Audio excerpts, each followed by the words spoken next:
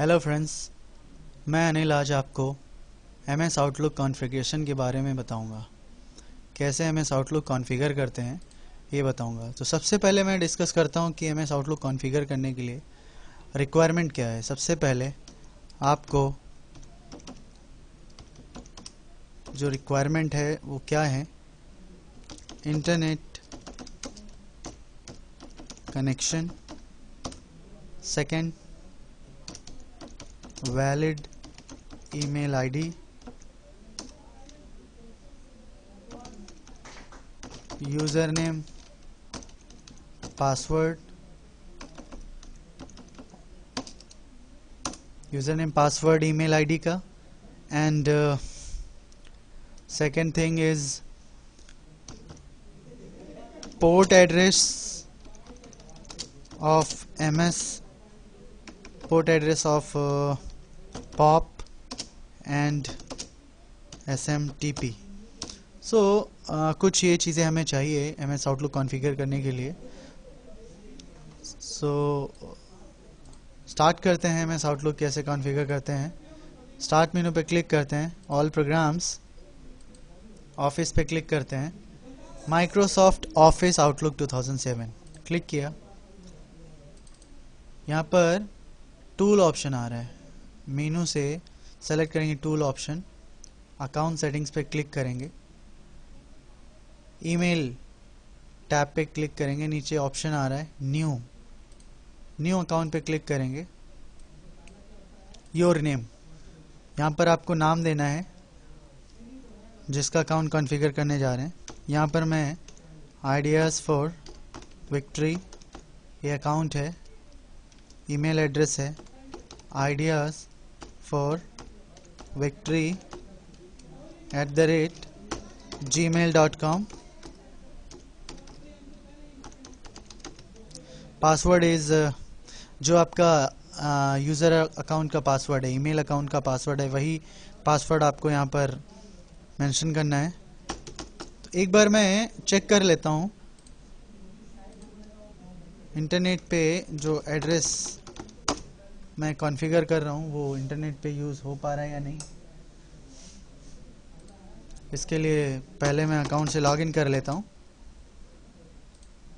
Verify कर लेता हूँ user name and password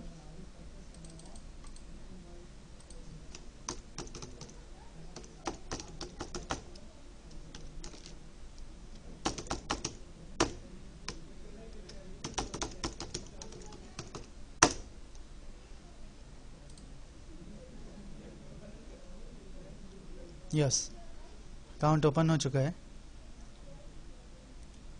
log out कर देते हैं। वापस ईमेल एम एस आउटलुक पे आते हैं। यहाँ पर पासवर्ड मेंशन कर रहा हूँ मैं।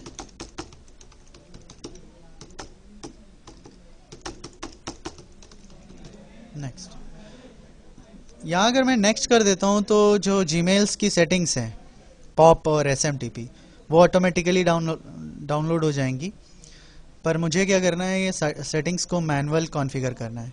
इसके लिए आप मैनुअल कॉन्फ़िगर सर्वर सेटिंग्स और एडिशनल सर्वर टाइप्स पे क्लिक करेंगे। देन नेक्स्ट क्लिक करेंगे।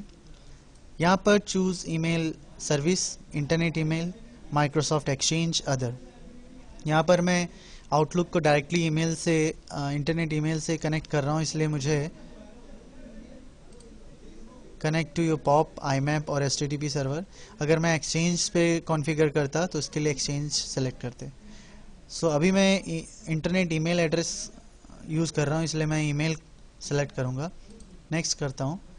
यहाँ पर incoming mail server incoming POP dot Gmail dot com है. Outgoing is S M T P dot Gmail dot com user name ideas for victory ये वही user name है जो हमारा ईमेल एड्रेस है। आप देख सकते हैं ideas for victory at Gmail dot com यहाँ ये पोर्शन आपको, इतना पोर्शन इसको यूज़र नेम कहते हैं। बाकी के पोर्शन को डोमेन नेम कहते हैं। एट द रेट सेपरेटर का काम करता है। तो ऐट द रेट के पहले वाला जितना ऑप्शन होता है, वो यूज़र नेम होता है। वो यहाँ पर डालेंगे। पासवर्ड अपने ईमेल अकाउंट का मेंशन करेंगे। देन यहाँ मोर सेटिंग ऑप्शन आ रहा है।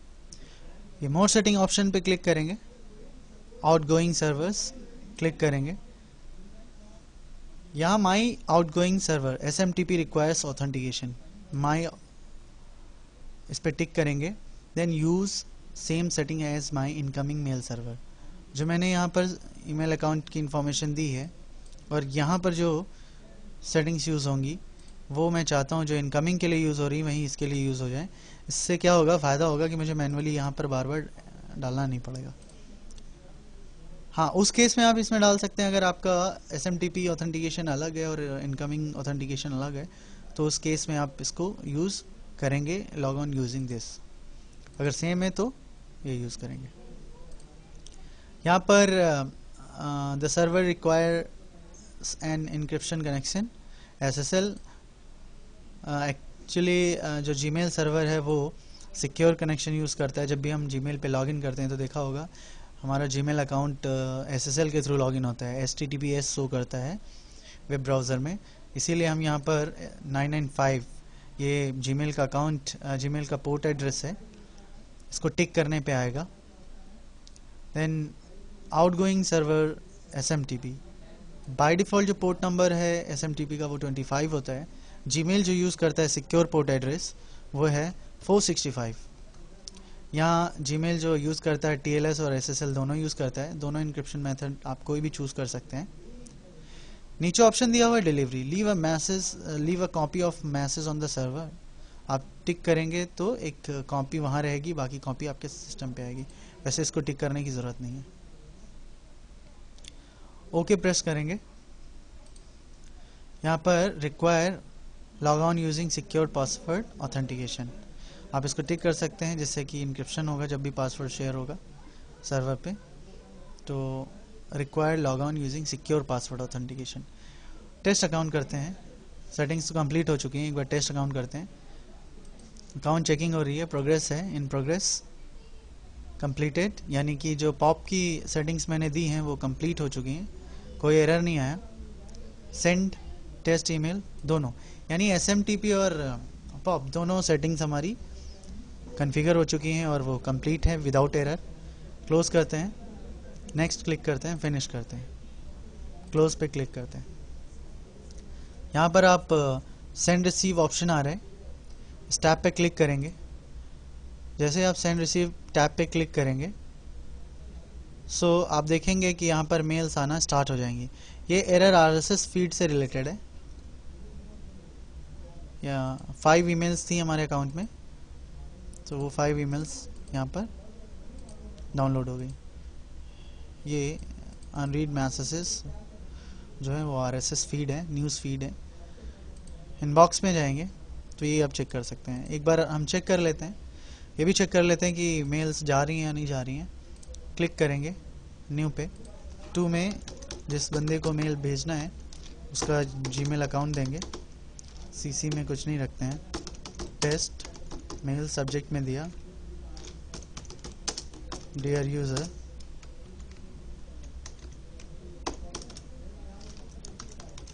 this is an this is a test mail for how going server regards ideas for victory message type करने के बाद सेंड करेंगे। जैसे सेंड पे क्लिक करते हैं मैसेज तुरंत आउटबॉक्स में जाता है।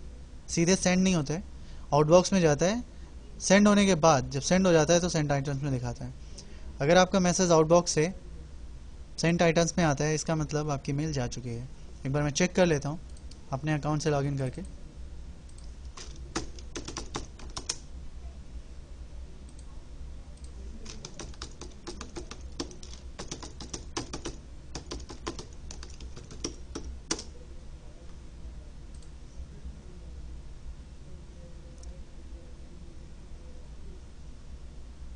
यस ये देखिए टेस्ट मेल आ गया है।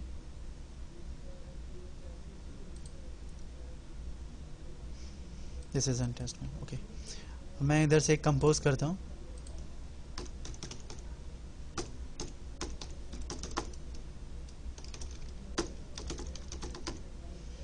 या मैं उसी मेल को रिप्लाई कर देता हूँ। इनबॉक्स पे क्लिक किया। मेल ओपन किया। Reply send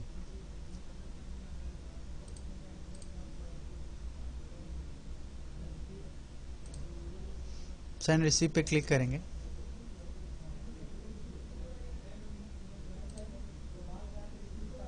okay new mail so इस तरीके से आप देख सकते हैं कि मेल मेरे एम एस आउटलुक से सेंड भी हो रहा है और मेल रिसीव भी हो रहा है। सो so, ये था configuration of M S Outlook इसके अलावा इस एम एस आउटलुक में आप देख सकते हैं कि मेल है, कैलेंडर है, यहाँ से आप कैलेंडर यूज़ कर सकते हैं।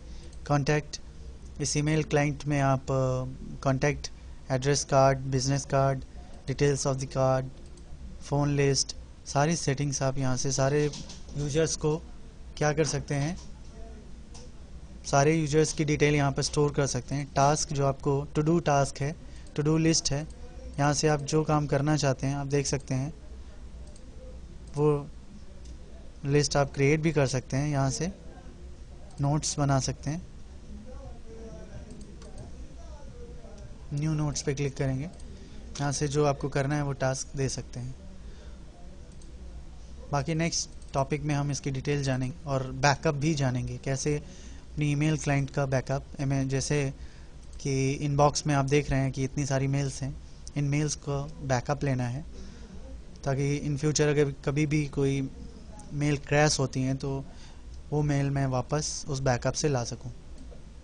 सो so, ये कॉन्फ़िगरेशन थी एम एस आउटलुक की।